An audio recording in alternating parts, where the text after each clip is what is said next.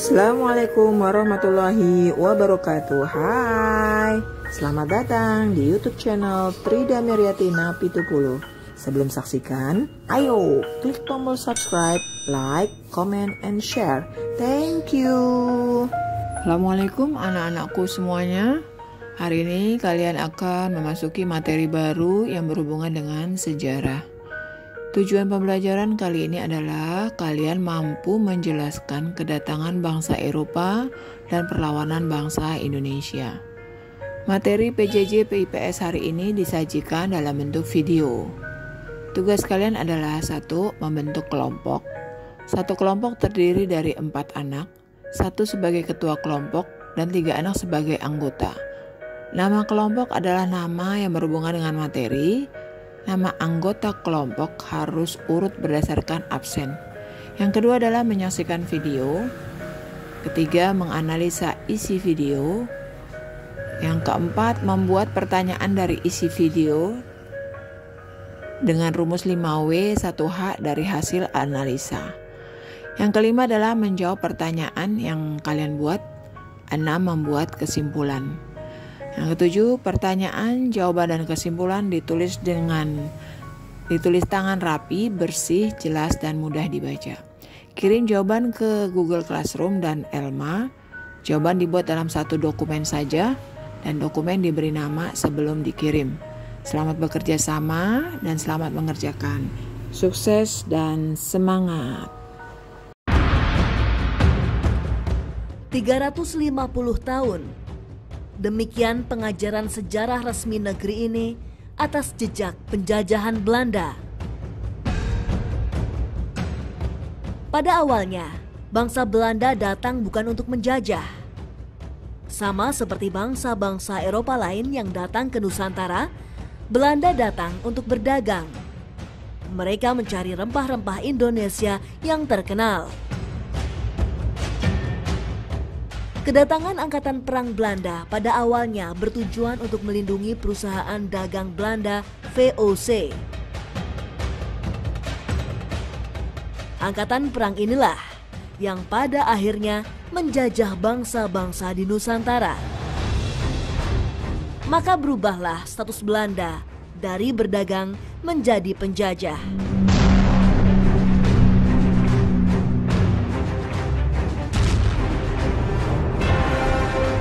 Peristiwa demi peristiwa terjadi, berabad-abad Belanda menindas dan mengeruk kekayaan Nusantara. Meninggalkan luka sejarah yang tak bisa dilupakan.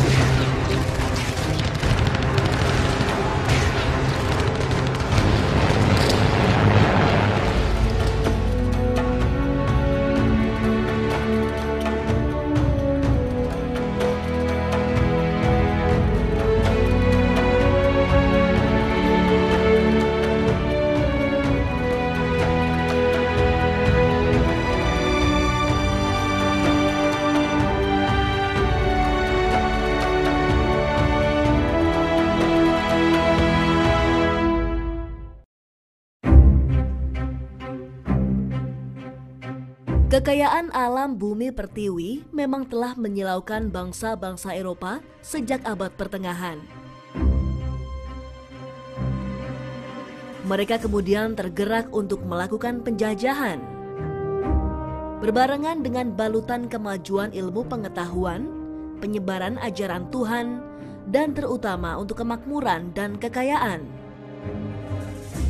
Penjelajahan bangsa barat mencari rempah Nusantara melewati sekian kisah dan peristiwa. Mulai dari Columbus yang tersesat dan menemukan benua Amerika pada tahun 1493 sampai Francisco Serrao yang mendarat di Ternate pada tahun 1512. Di tahun yang sama, Spanyol juga tidak mau kalah. Mereka mendarat di bagian lain Kepulauan Maluku, yakni Tidore.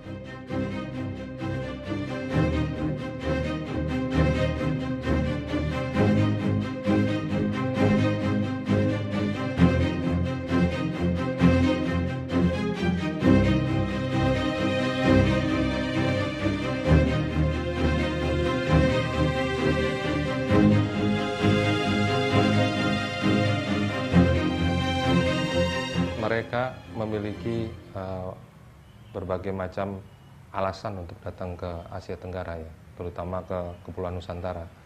Nah, terutama alasan utama itu ketika itu adalah masalah ekonomi.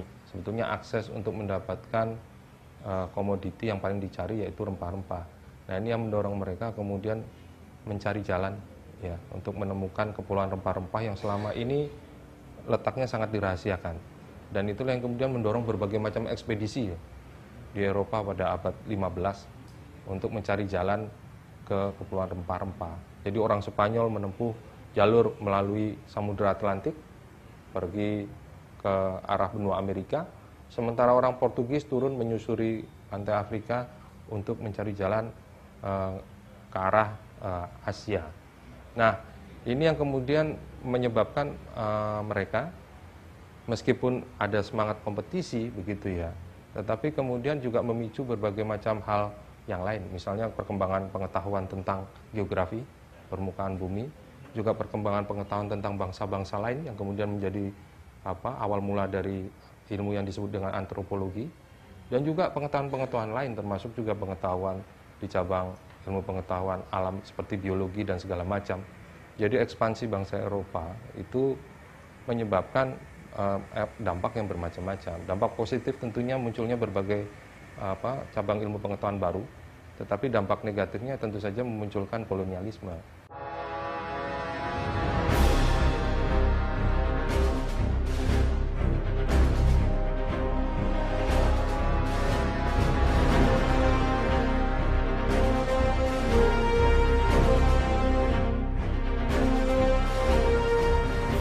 Pertemuan mereka dengan tanah muasal rempah ini kemudian mengubah arah sejarah. Keserakahan menjadikan bangsa-bangsa Eropa tidak lebih dari penjajah. Penjajahan yang melupakan nilai-nilai peradaban, penjajahan yang tidak berperi kemanusiaan dan peri keadilan. Kedatangan Portugis dan Spanyol menjadi provokator yang memantik dan membakar perseteruan raja-raja penguasa wilayah di Kepulauan Maluku. Perang terjadi berulang kali di antara kedua bangsa Eropa dan masing-masing sekutu mereka.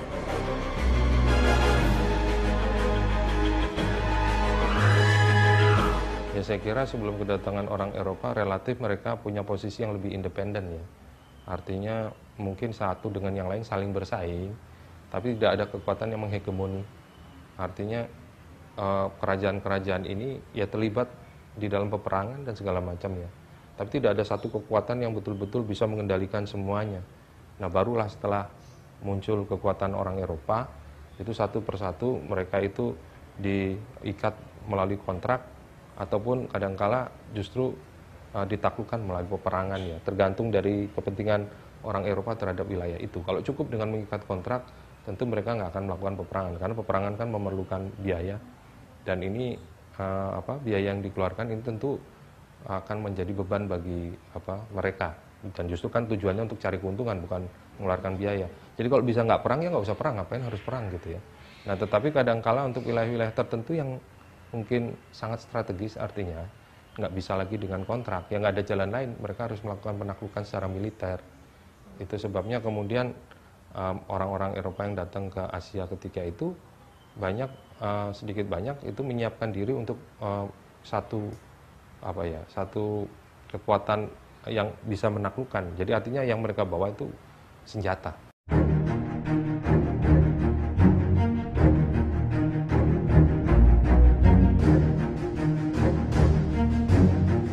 Setiap pihak melakukan segala siasat untuk menguasai hasil bumi Maluku.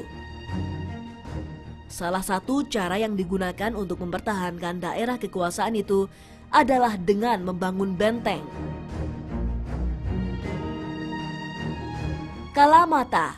Demikian nama benteng tinggalan Portugis ini. Dibangun tahun 1540, Benteng Kalamata atau Benteng Kayu Merah memiliki nama asli Santa Lucia. Benteng ini adalah penanda betapa kekuatan senjata dan kekerasan menjadi bagian tak terpisahkan sejak mula pertama orang-orang Eropa menjejakkan kaki di Nusantara. Pada awalnya benteng Kalamata dibangun oleh Portugis sebagai benteng pertahanan dalam rangka perluasan daerah kekuasaan di Ternate dan menahan serangan Spanyol yang kala itu menguasai wilayah Tidore. Namun, setelah Portugis meninggalkan Ternate di tahun 1575, Spanyol menduduki benteng ini dan menjadikannya pos perdagangan rempah-rempah.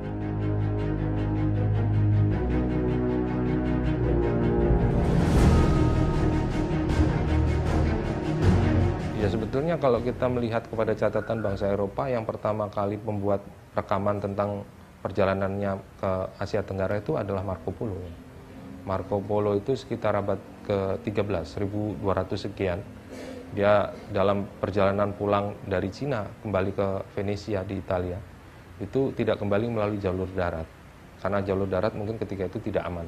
Akhirnya dia melalui jalur laut, maritim, dan dia turun dari Laut Cina Selatan sampai ke ujung utara Sumatera melintasi Selat Malaka di Kerajaan Samudra dan Pasai dan sempat singgah di sana selama mungkin sekitar 3 sampai 4 bulan untuk menunggu angin musim dan uh, dalam masa singgahnya itu dia membuat berbagai macam catatan ya tentang situasi di uh, apa Asia Tenggara.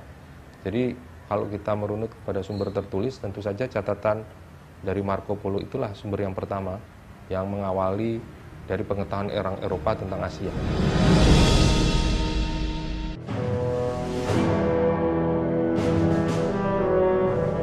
Masa awal keberadaan Portugis dan Spanyol di Kepulauan Maluku, Belanda belum lagi memegang kunci penguasaan rempah Nusantara. Baru pada akhir abad 16, Belanda mulai melakukan ekspedisi ke perairan Nusantara. Ekspedisi armada Belanda berpedoman pada buku Itinerario Near Os of the Portugals Indian yang dikarang Jan Huygen van Linschoten. Jan Huygen van Linschoten adalah seorang pegawai yang bekerja pada maskapai perniagaan Portugis yang sempat bertugas di wilayah Indonesia Timur. 2 April tahun 1595, Cornelis de Houtman memimpin ekspedisi bangsa Belanda yang pertama kali menuju Nusantara. Bersama navigator Peter Dirk Zon Kaiser, Cornelis de Houtman memimpin empat armada kapal dengan jumlah awak kapal sebanyak 248 orang. Jalur yang mereka lalui adalah pantai barat Afrika, Semenanjung Harapan, Samudra Hindia, Selat Sunda, dan mendarat di Banten pada Juni 1596. Namun Belanda mengalami kebuntuan karena berhadapan dengan Portugis dan penguasa Kesultanan Banten. Mereka kemudian beralih ke wilayah Sumatera dan Kalimantan dan terus berperang dengan Portugis dan Kesultanan Banten. Belanda dipaksa mundur karena banyak pasukan yang gugur karena peperangan dan wabah penyakit. 94 pasukan yang tersisa melakukan perjalanan ke wilayah timur Indonesia hingga menemukan Pulau Bali. Selama setahun, pasukan Hotman melakukan niaga di sekitar Pulau Bali. Februari 1597, mereka kembali ke Amsterdam membawa serta 245 kantong lada, 45 ton pala dan 30 bal bunga pala. Walaupun jumlah tersebut tak sebanding nyawa yang hilang, namun perjalanan Houtman dianggap berhasil lantaran menguntungkan perdagangan hingga bernilai 800 ribu golden.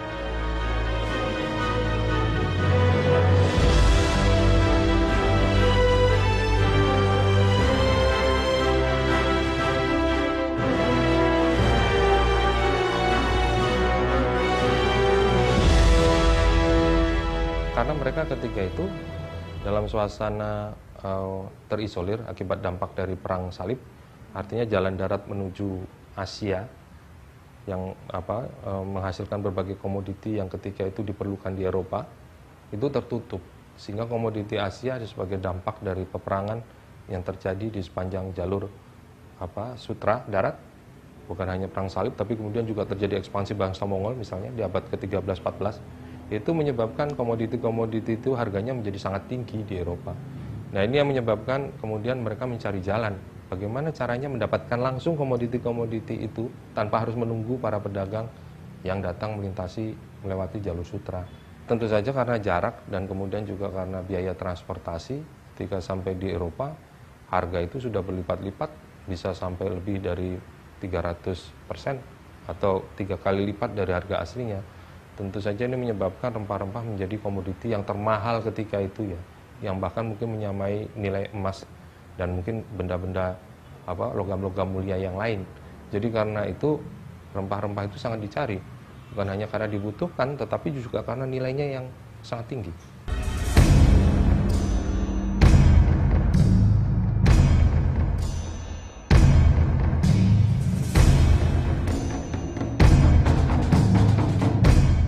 Keberhasilan ekspedisi Cornelis de Houtman mencapai kawasan Nusantara mendorong ekspedisi kapal dagang Belanda lainnya. Namun persaingan antara saudagar Belanda dalam memperebutkan rempah-rempah Nusantara memicu perseteruan dan perselisihan. Bukan saja dengan bangsa-bangsa Eropa lainnya, namun juga dengan sesama orang Belanda sendiri. Melihat perseteruan yang tak kondusif ini, Akhirnya Belanda mendirikan VOC atau Persekutuan Dagang Asal Belanda. Mereka ini kemudian dikenal sebagai VOC Belanda. Sebetulnya sebelum VOC itu sudah banyak eh, kapal-kapal Belanda yang datang ke kita. Tapi lalu jadi persaingan satu sama lain karena masing-masing itu buka buka kamar dagang istilahnya ya. Itu yang kalau dalam periode orang Belanda nyebut itu yang disebut for company. Jadi pelayanan ke Nusantara tapi belum belum dibawa VOC masing-masing. Jadi kalau kita belajar buku sejarah itu kan pertama kali mereka datang di Banten 1596. Itu VOC belum dirikan VOC kan dirikan 1602. Jadi periode itu yang mereka malah lucu. Bersaingan kadang-kadang bisa bisa rebutan, bisa bisa kayak perang juga itu ya. Nah, jadi ketika akhirnya dipikir di, di Belanda dia bilang, udah kita daripada bersaing malah nggak untung, merugikan, lebih baik kita berkumpul. Makanya dibikin persekutuan. VOC itu persekutuan dagang. Kalau orang Betawi nyebutnya company lalu. Company itu kan dari kompani. Company itu artinya dua, persekutuan dagang tapi juga semacam kelompok dalam tentara itu. Company kalau orang Betawi itu zaman company.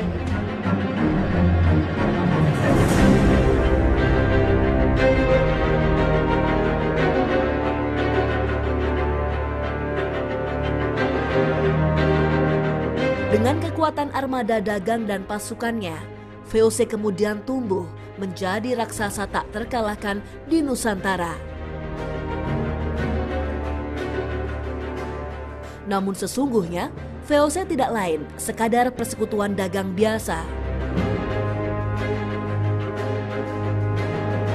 Sebagaimana tersurat dari namanya, Verenigde Oost-Indische Compagnie yang berarti persekutuan dagang asal Belanda.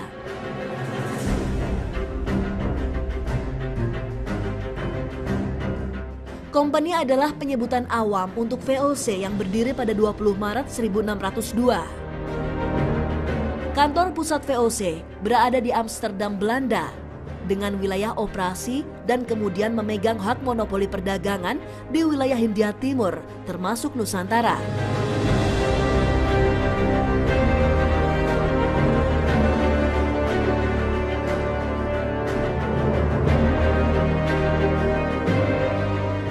Itu adalah sebuah perusahaan dagang. Artinya sebetulnya ini adalah fenomena modern ya untuk ukuran zamannya. Karena ketika itu orang biasanya menghimpun usahanya itu di dalam uh, sistem yang masih coraknya tradisional, tapi VOC itu sudah memperkenalkan sistem saham dan apa, me, me, apa menerapkan administrasi di mana para pegawai itu adalah orang-orang profesional, bukan pemilik dari perusahaan. Kalau sebelumnya itu kalau perusahaan dagang yang mengoperasikan ya yang punya perusahaan, tapi di, VOC, uh, di dalam VOC beda. Itu orang bisa beli saham tanpa harus terlibat langsung dalam kegiatan perdagangan. Jadi mereka bisa tinggal di Eropa, datang ke kantor VOC di Amsterdam, beli saham, dan kemudian mendapat share keuntungan dari jumlah saham yang mereka beli. Ya ini saya kira satu fenomena yang ketika itu untuk ukuran zamannya sangat maju ya. Jadi karena itu VOC sukar ditaklukkan karena mereka punya sistem administrasi yang lebih maju daripada yang lain. Jadi kalau satu pejabat VOC itu ternyata misalnya terbunuh atau kemudian mati atau kemudian korupsi dan harus dicopot itu nggak masalah. Karena dia bukan pemilik dia hanya pegawai biasa. Tinggal diganti sama pegawai lain. Nah ini beda dengan sistem perdagangan yang berlaku di uh, berbagai bangsa yang lain ketika itu yang kebanyakan itu antara pemilik dengan orang yang bekerja di lapangan itu orangnya sama. Sehingga kalau mereka mendapat masalah perusahaannya ikut terpengaruh. Itu. Nah karena itulah VOC bisa bertahan sampai uh, sekitar 200 tahun. Ya, ini saya kira salah satu perusahaan yang usianya paling panjang di dunia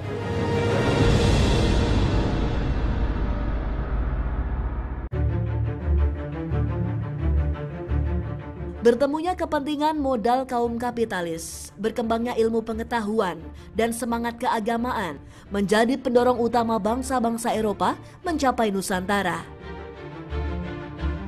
Namun demikian, jauh sebelum kedatangan bangsa-bangsa Eropa, Nusantara telah lama menjadi kawasan kosmopolitan. Kerajaan-kerajaan dan masyarakat Nusantara terbiasa melakukan transaksi ekonomi dan interaksi sosial budaya antar bangsa. Mulai dari Tionghoa, Arab, India, dan bangsa-bangsa Asia Tenggara lainnya.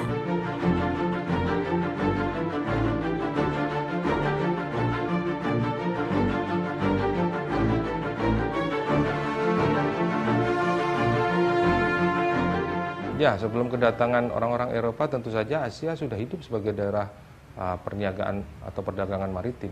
Bangsa-bangsa Asia sendiri saling berinteraksi melalui kegiatan pelayaran yang kemudian juga apa menghidupkan jalur-jalur pelayaran ya yang menghubungkan antara satu negara dengan negara yang, yang lain dalam jarak yang sangat jauh. Nah ini memunculkan jaringan-jaringan pelayaran ya, yang ketika itu disebut dengan uh, mungkin orang belum punya nama, tapi itu jaringan perdagangan Islam sebetulnya. Karena sebetulnya yang mendominasi itu para pedagang Islam, baik dari benua uh, apa Asia uh, Barat maupun Asia Selatan sampai ke Asia Tenggara sampai ke Asia Timur. Jadi ini satu jaringan yang sebetulnya dihidupkan oleh para pedagang Muslim dari berbagai bangsa. Tetapi juga di, di luar itu juga ada orang-orang Cina tentu saja yang paling terbesar kan pada sekitar abad ke-15 itu ada satu armada yang dikirim berkali-kali ke wilayah selatan atau Nanyang dalam bahasa Mandarin yang dipimpin oleh Laksamana Cheng Ho. Ya. Jadi Cheng Ho itu bagian daripada misi uh, dagang sebetulnya ya yang dikirim oleh Kekaisaran Cina untuk mendalami kemungkinan mengembangkan hubungan perdagangan dengan eh, wilayah-wilayah uh, Asia yang lain. Nah dia datang berkali-kali itu ke ke Malaka dan juga ke wilayah-wilayah lain di Nusantara. Jadi dengan demikian sebetulnya sebelum kedatangan bangsa Eropa, dunia Asia itu justru sangat semarak dengan kegiatan perdagangan yang memperdagangkan berbagai macam komoditi dengan komoditi utama yang diperdagangkan adalah rempah-rempah.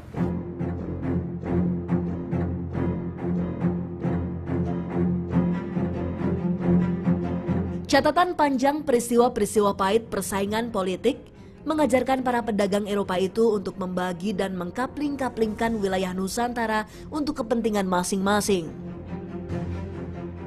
Sementara interaksi mereka dengan penguasa dan masyarakat lokal juga menumbuhkan sikap oportunistik dan kemudian berkembang dengan rupa-rupa tipu muslihat dan siasat licik. Setelah VOC berdiri, para pedagang Belanda memiliki kekuatan besar untuk memaksa kehendak kepada penguasa dan masyarakat lokal Nusantara. Isi perjanjian dengan daerah itu lucu. Cuma mereka VOC cuma menuntut bahwa uh, mereka mengakui kekuasaan VOC. Itu aja. nanti baru disebut mereka harus ada ada semacam menyetor sekian jadi kayak perjanjian dagang gitu. Yang mereka butuhkan hanya pengakuan kekuasaan. Yang orang kita nggak ngerti bahwa itu secara diplomatik oleh pihak Eropa itu dianggap Anda udah menguasai.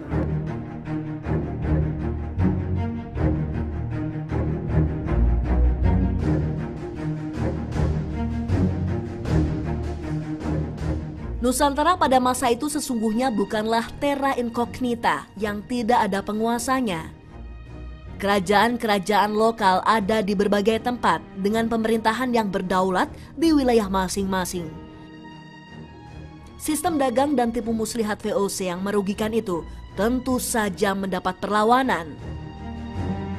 Perlawanan yang berujung kekalahan karena perpecahan dan adu domba Belanda terhadap kaum pribumi Nusantara.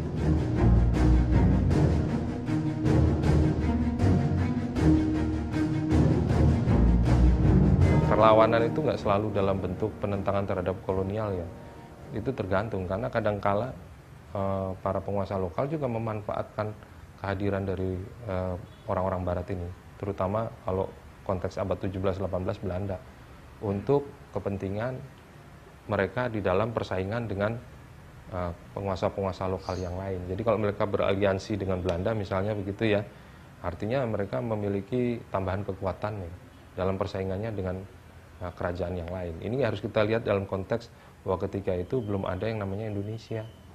Jadi ketika itu masih kerajaan-kerajaan lokal yang saling independen berdiri sendiri. Jadi tidak selalu seperti yang kita bayangkan isinya itu mereka melawan kolonial, enggak juga. Kadang-kala mereka memanfaatkan Belanda juga untuk bersaing dengan kekuatan kekuatan lain. Contohnya itu misalnya ketika uh, Belanda atau VOC itu mencoba untuk mengalahkan kerajaan Guatalo ya di Sulawesi Selatan. Itu uh, seorang penguasa Bugis namanya Aru Arupalaka itu bekerja sama dengan VOC untuk mencoba apa membantu untuk menaklukkan Guatalo bukan karena mereka itu membela penjajah bukan. Tapi karena ketika itu Guatalo menghegemoni wilayah kekuasaan Bone yang apa adalah kerajaan orang Bugis dan ini bisa dipahami dalam konstelasi uh, situasi politik di abad ke-17 ya jadi siapa pun yang bisa digunakan untuk membantu mereka dalam uh, uh, konteks politik lokal itu akan mereka manfaatkan. Jadi kisahnya tidak selalu tentang perlawanan. Memang perlawanan terjadi, tapi kadangkala justru Belanda dimanfaatkan juga untuk kepentingan-kepentingan politik lokal. Gitu.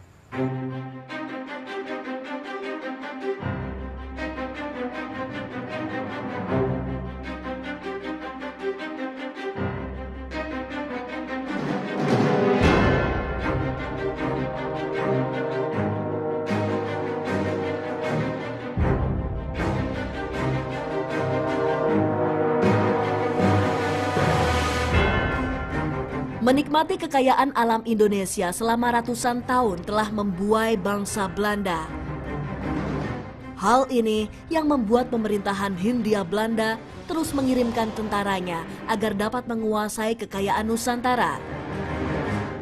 Mereka terus menumpas perlawanan kaum pribumi dan menghalau bangsa-bangsa Eropa lain yang ada di bumi pertiwi.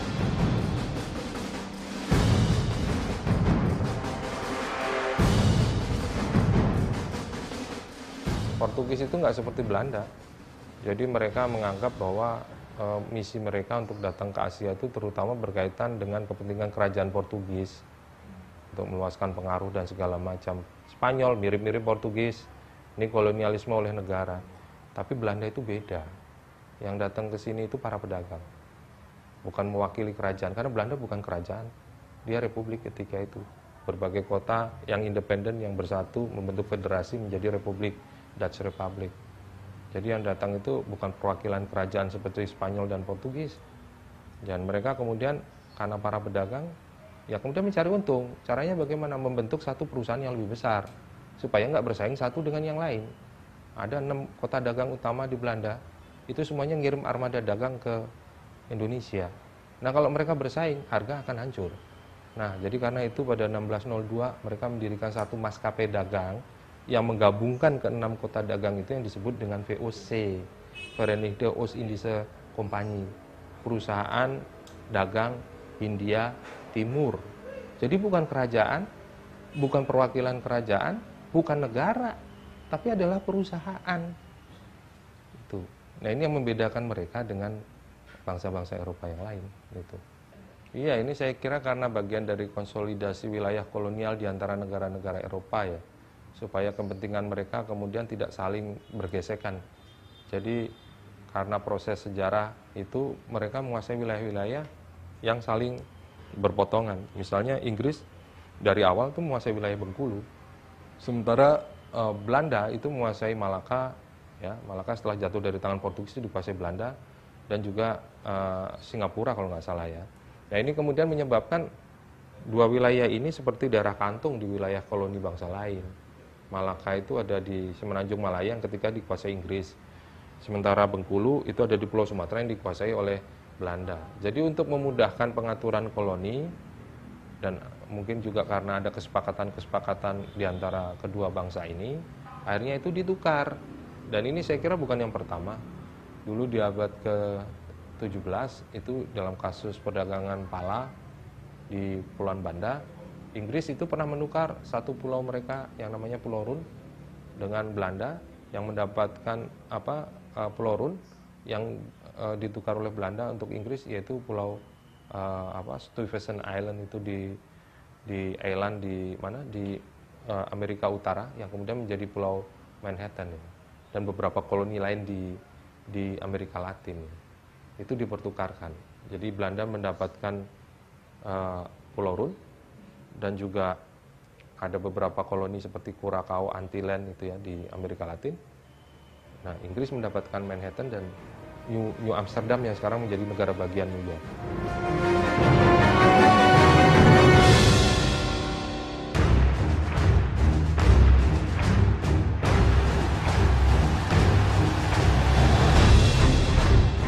Pada tahun 1602, Belanda membentuk Verenigde Oost-Indische Compagnie atau VOC untuk melindungi kekuatan dagangnya.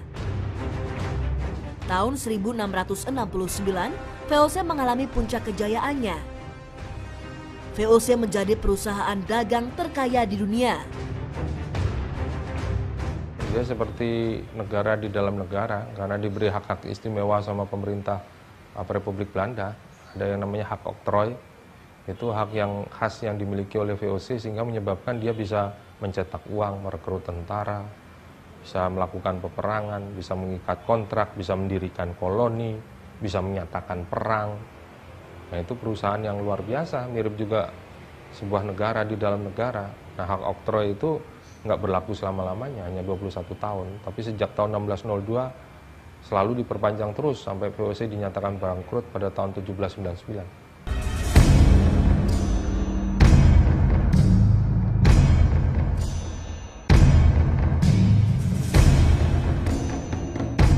Namun akhir tahun 1799, VOC resmi dibubarkan karena mengalami kebangkrutan.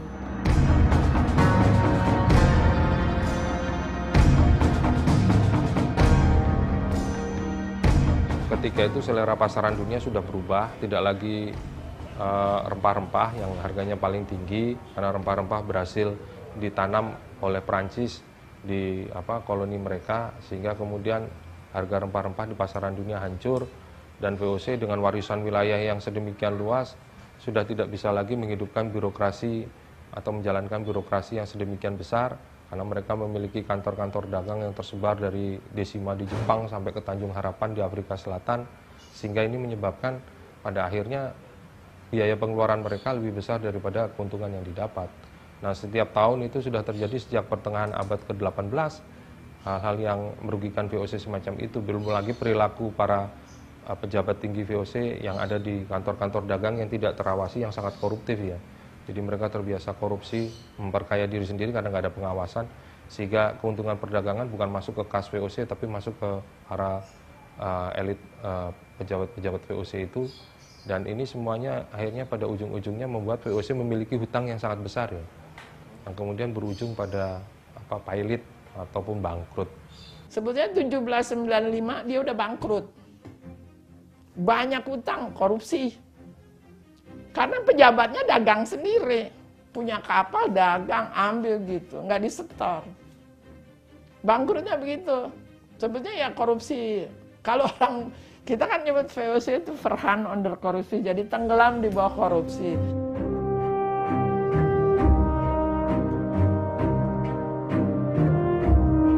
Setelah VOC bangkrut, aset-aset VOC diserahkan kepada pemerintahan Hindia Belanda. Bangkrutnya VOC nyatanya tidak mengurangi eksploitasi atas bumi Nusantara. Kolonialisasi bahkan kian lama semakin mengakar kuat.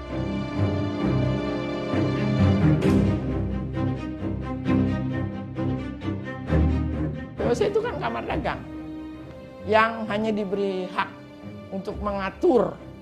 Jadi apa? Perusahaan dagang yang yang punya punya tugas kan seperti sebuah pemerintahan kan karena oktroynya begitu. Nah kita itu sebenarnya kolonialisme sebagai satu koloni itu dimulai 1800 itu sesudah VOC bubar.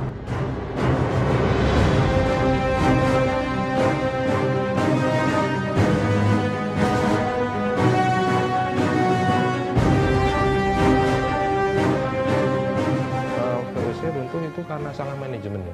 Tapi wilayah yang diwariskan ketika itu cukup luas. Dan karena kemudian VOC ditutup oleh pemerintah kolonial India Belanda, eh, pemerintah kolonial Belanda ketika itu, akhirnya wilayah koloninya diambil alih oleh pemerintah kolonial. Dan ini yang kemudian dijadikan negara kolonial India Belanda. Jadi dengan demikian sebetulnya coraknya beda. Kalau kalau VOC lebih pada eksploitasi apa eh, perdagangan, kalau Hindia Belanda itu eksploitasi agraria. Jadi dia lebih kepada kegiatan-kegiatan perkebunan dan pertanian yang menghasilkan keuntungan. Kalau VOC lebih kepada kegiatan perdagangan maritim. Beda. Karena eksploitasinya sudah bukan sekedar eksploitasi dagang, tapi sudah eksploitasi agraria. Sementara masyarakat Indonesia ketika itu kan banyak yang bergerak di sektor agraria, pertanian dan perkebunan sehingga kemudian ini menimbulkan konflik ya karena kepentingan-kepentingan ekonomi kolonial itu beda dengan kepentingan ekonomi produksi untuk kepentingan penduduk jadi kemudian muncullah berbagai macam uh, dampak ya karena penerapan kebijakan seperti tanam paksa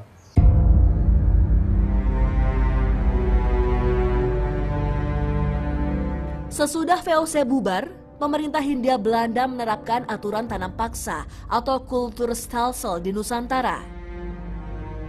Tanam paksa mewajibkan seluruh wilayah pertanian wajib ditanami tanaman komoditi ekspor dan hasilnya diserahkan kepada pemerintahan Belanda. Wilayah yang digunakan untuk praktik kultur stelsel pun tetap dikenakan pajak. Sementara warga yang tidak memiliki lahan pertanian wajib bekerja selama setahun penuh di lahan pertanian dan perkebunan pemerintah. Sistem tanam paksa ini jauh lebih keras dan kejam dibanding sistem monopoli VOC. Pada masa VOC, petani hanya diwajibkan menjual komoditi tertentu pada VOC.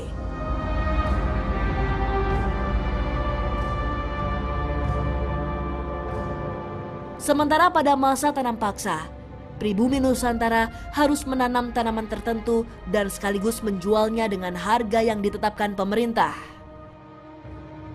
Sistem kejam tanam paksa inilah yang memberikan bertumpuk-tumpuk kekayaan dan kemudian membawa zaman keemasan kolonialis liberal Hindia Belanda pada 1835 hingga 1940. Sementara itu, jauh di bawah sorot lampu keemasan pemerintahan kolonial Hindia Belanda. Rakyat pribumi Nusantara hidup dalam realitas perih kenyataan. Menjadi kaum tindasan dari para penjajah, tidak lain adalah seburuk-buruknya nasib dalam kemalangan.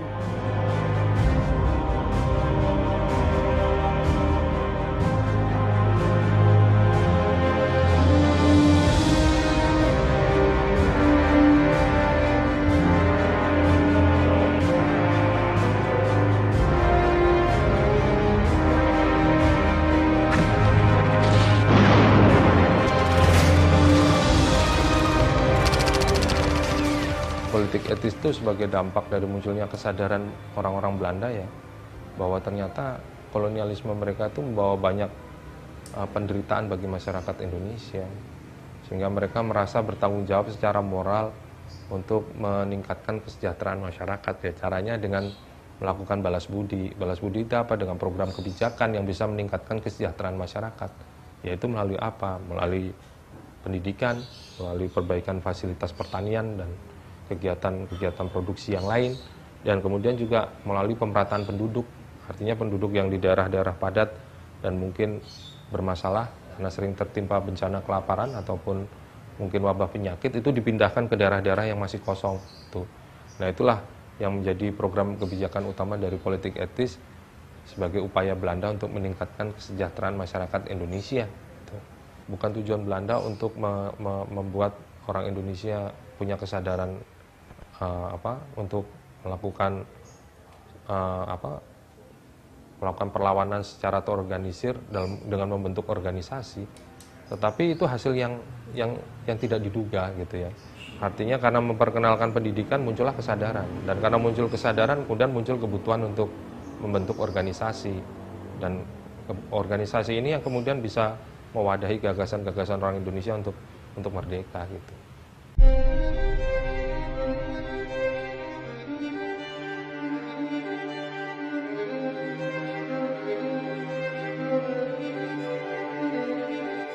Sejarah mencatat sekian banyak peristiwa yang silih berganti mewartakan penderitaan anak bangsa.